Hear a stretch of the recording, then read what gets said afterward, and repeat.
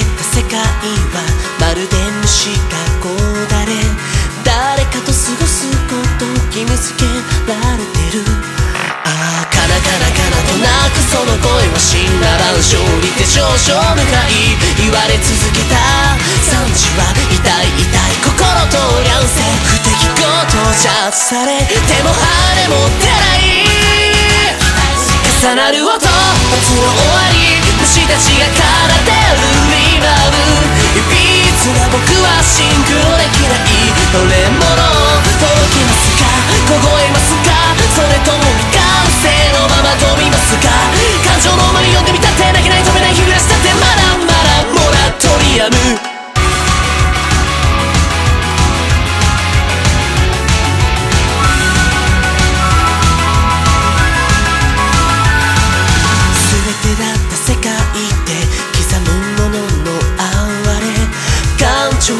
いなら指で打ち出せるよだけど一影にかけ迷惑をかけて因果応報にて暗中も咲く無理に合わせて見たけど嫌い嫌い花一問で不平等に着され。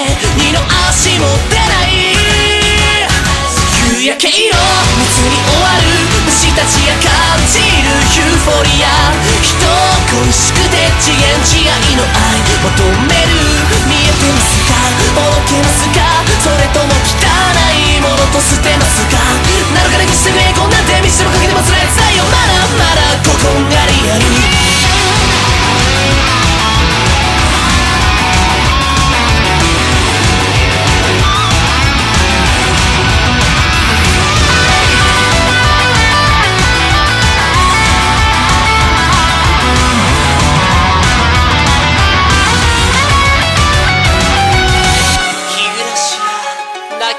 ど果たせぬ願いか。求める場所は多かれど我にはここが糸おかし。君には白僕には黒私たちが織りなすリフレクション。絡まり合ってかけがえのないものを作る。わかりますか？届きますか？それと